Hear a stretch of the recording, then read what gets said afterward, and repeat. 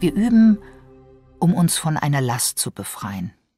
Der Last einer engen, von Gier, Aggression, Unwissenheit und Angst erzeugten Perspektive. Wir empfinden unsere Mitmenschen als Last, ebenso den Alltag. Die größte Last aber ist unsere eigene Persönlichkeit.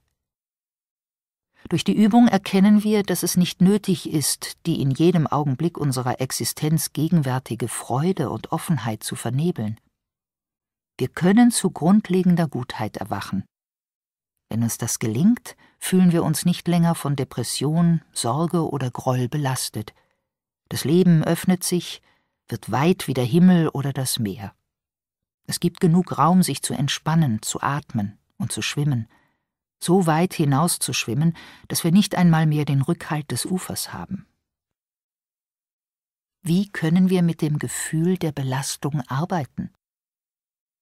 Wie lernen wir damit umzugehen, dass immer etwas zwischen uns und unserem verdienten Glück zu stehen scheint? Wie können wir lernen, uns zu entspannen und die grundlegende Freude zu berühren? Weltweit sind die Zeiten schwierig. Erwachen ist kein Luxus oder hehres Ideal mehr, Erwachen ist lebenswichtig geworden. Wir dürfen uns nicht an der weiteren Vermehrung von Depression, Entmutigung und Zorn beteiligen. Wir müssen lernen, mit schwierigen Zeiten vernünftig umzugehen.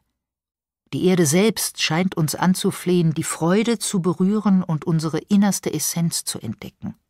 Das ist der beste Weg, wie wir anderen von Nutzen sein können. Es gibt drei traditionelle Methoden, wie man schwierige Umstände direkt als Weg zum Erwachen und zur Freude nutzen kann. Die erste Methode nennen wir nicht mehr kämpfen, die zweite Gift als Medizin nutzen und die dritte alles, was erscheint, als erleuchtete Weisheit erkennen. Diese drei Techniken ermöglichen uns den Umgang mit Chaos, Schwierigkeiten und unerwünschten Vorkommnissen in unserem täglichen Leben. Die erste Methode, nicht mehr kämpfen, gipfelt in der Shamatha Vipassana Meditation. Wenn wir meditieren, schauen wir alles, was in unserem Geist erscheint, einfach direkt an, bezeichnen es als Denken und kehren zur Einfachheit und Unmittelbarkeit des Atems zurück. Wieder und wieder kehren wir zum ursprünglichen Gewahrsein, frei von Konzepten, zurück. Die Meditationspraxis bringt uns dazu, aufzuhören, mit uns selbst, mit den Umständen, Emotionen oder Launen zu kämpfen. Diese grundlegende Technik ist ein Werkzeug, das wir benutzen können, um uns in unserer Übung und in unserem Leben zu trainieren. Was immer auch erscheint, können wir mit einer vorurteilslosen Haltung einfach betrachten. Mit Hilfe dieser Technik arbeiten wir mit den Unannehmlichkeiten in ihren unzähligen Verkleidungen. Was immer auch geschieht, üben Sie wieder und wieder, es bloß anzuschauen, es als das zu erkennen, was es ist, ohne es zu benennen, ohne es mit Steinen zu bewerfen, ohne die Augen abzuwenden. Lassen Sie sämtliche Geschichten beiseite. Die innerste Essenz des Geistes ist frei von Voreingenommenheit. Auf immer und ewig erscheinen die Dinge und lösen sich wieder auf. So ist es einfach. Das ist die primäre Methode zum Umgang mit schmerzhaften Situationen. Globalem Schmerz, häuslichem Schmerz, jedem möglichen Schmerz. Wir können aufhören, mit dem, was erscheint, zu hadern und es zum Feind hoch zu stilisieren. Stattdessen können wir sein wahres Gesicht sehen. Schließlich geht es in unserer Übung nicht darum, irgendetwas zu erreichen, es geht nicht um Gewinn und Verlust, sondern darum, mit dem Kämpfen aufzuhören und uns zu entspannen. Das genau tun wir, wenn wir uns zur Meditation hinsetzen. Und diese innere Einstellung wird schließlich auch in unserem Alltag spürbar. Es ist, als würden wir das, was uns Angst macht, einladen, sich vorzustellen und ein wenig zu Gast zu bleiben. Ähnlich wie Milarepa den Ungeheuern, die eines Tages seine Höhle besetzt hatten, sagte, wie schön euch Ungeheuer heute zu Besuch zu haben, ihr müsst morgen wiederkommen. Wir sollten ab und zu ein Schwätzchen halten. Wir beginnen, indem wir mit den Ungeheuern in unserem Geist arbeiten. Allmählich entwickeln wir genug Weisheit und Mitgefühl, um auch mit den Bedrohungen und Ängsten unseres Alltags vernünftig zu kommunizieren. Die tibetische Yogini Machik Labdrön übte sich furchtlos in dieser Sichtweise. Sie sagte, dass es in ihrer Tradition nicht üblich sei, Dämonen auszutreiben. Sie würden mit Mitgefühl behandelt. Der Rat, den sie von ihrem Lehrer bekommen hatte und den sie an ihre eigenen Schüler weitergab, lautete Geh auf das zu, was dich abstößt. Hilf denen, denen du glaubst, nicht helfen zu können, und begib dich an Orte, die du fürchtest. Dieser Zugang stellt sich ein, wenn wir uns hinsetzen, um zu meditieren und den Kampf mit unserem Geist aufzugeben. Die zweite Methode der Arbeit mit dem Chaos lautet, das Gift als Medizin nutzen. Wir können schwierige Situationen, das Gift, als Anfeuerung zum Erwachen nutzen. Gewöhnlich begegnet uns dieser Zugang in der Praxis des Tonglen. Wenn uns irgendetwas Schwieriges begegnet, Konflikte jeder Art, Gefühle der Wertlosigkeit, der Peinlichkeit oder des Schmerzes, dann können wir es einatmen, statt zu versuchen, es loszuwerden. Die drei Gifte sind Leidenschaft, einschließlich Gier oder Sucht, Aggression und Unwissenheit, einschließlich Leugnung oder der Tendenz zuzumachen und etwas auszuschließen. Gewöhnlich sehen wir in diesen Dingen etwas Schlechtes, etwas, das man vermeiden sollte, aber in diesem Fall liegen die Dinge anders. Jetzt werden sie zu Samen für Mitgefühl und Offenheit. Wenn Leiden erscheint, dann besteht die Übung von Tonglen darin, das Drehbuch loszulassen und einzuatmen. Nicht nur den Zorn, den Groll oder die Einsamkeit, die wir selbst fühlen, sondern ebenso die identischen Gefühle anderer, die in diesem Augenblick ebenfalls Zorn, Bitterkeit oder Einsamkeit empfinden. Wir atmen diese Gefühle für alle anderen ein. Das Gift ist nicht nur unser eigenes persönliches Unglück, unser Fehler, unsere Schuld, unsere Schande, es gehört zur menschlichen Bedingtheit. Es ist unser Bindeglied zu allen Lebewesen, das Material, das wir brauchen, um verstehen zu können, was es heißt, in einer anderen Haut zu stecken. Statt es uns vom Hals zu halten, atmen wir es ein und verbinden uns voll und ganz damit, zusammen mit dem Wunsch, dass alle Wesen frei von Leid sein mögen. Dann atmen wir aus und senden dabei ein Gefühl grenzenlosen Raums, ein Gefühl von Frische aus, verbunden mit dem Wunsch, dass alle Wesen Gelassenheit und die innerste Essenz ihres Geistes finden mögen. Von Kindesbeinen an bläut man uns ein, dass mit uns, mit der Welt und mit allem, was uns begegnet, etwas nicht stimmt. Es ist nicht vollkommen, es hat Ecken und Kanten, einen bitteren Geschmack, es ist zu laut, zu weich, zu scharf, zu wischiwaschi. Wir entwickeln das Bedürfnis, alles besser machen zu müssen, weil immer etwas nicht stimmt, weil es immer ein Problem gibt. Das Hauptanliegen der hier besprochenen Methoden ist es, den dualistischen Kampf aufzulösen, unsere gewohnheitsmäßige Tendenz gegen das, was uns entgegenkommt oder in uns selbst geschieht, anzukämpfen. Diese Methoden halten uns an, auf die Schwierigkeiten zuzugehen, statt sich zurückzuziehen. Diese Ermutigung erhalten wir nicht sehr oft. Alles, was geschieht, ist nicht nur nutzbar und bearbeitbar, sondern es ist tatsächlich der Weg selbst. Wir können alles, was uns begegnet, als Mittel zum Erwachen nutzen. Von allem, was uns begegnet, seien es unsere eigenen widerstreitenden Gedanken und Emotionen oder scheinbar äußere Situationen, können wir uns zeigen lassen, wo wir noch schlafen und wie wir restlos und vorbehaltlos erwachen können.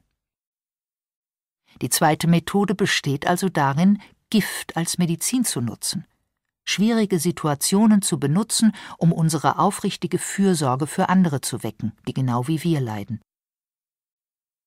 Eine der Losungen des Lojong lautet, wenn die Welt voll von Übel ist, muss man alle Missgeschicke, alle Schwierigkeiten in den Pfad zur Erleuchtung verwandeln.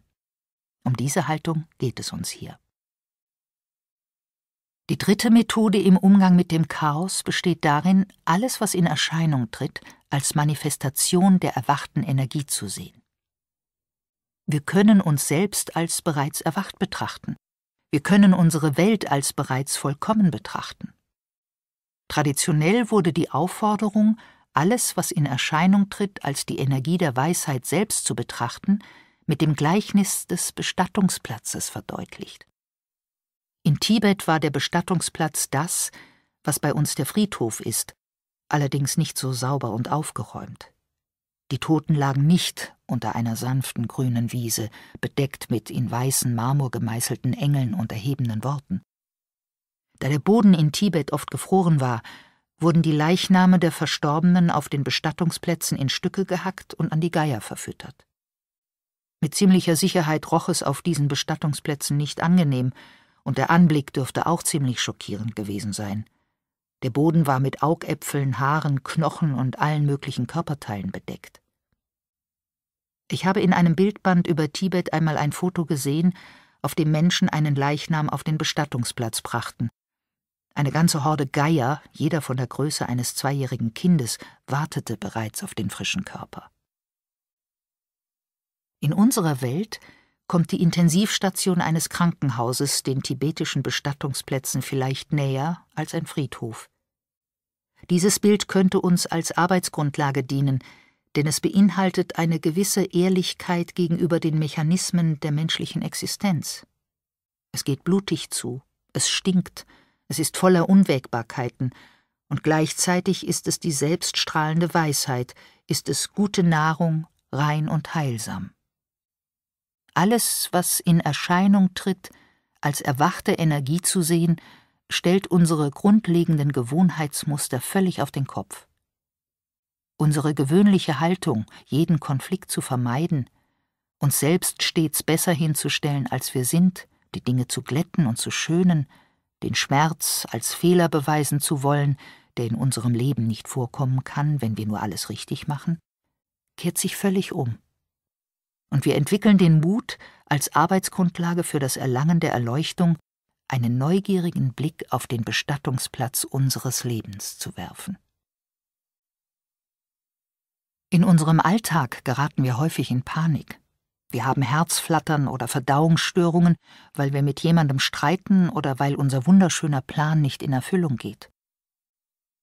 Wie gehen wir mit diesen Dramen um? Was machen wir mit diesen Dämonen, die ja hauptsächlich unsere eigenen Erwartungen und Befürchtungen sind? Wie hören wir auf, gegen uns selbst zu kämpfen? Magic Labtrön rät uns, genau die Orte aufzusuchen, vor denen wir Angst haben – aber wie macht man das?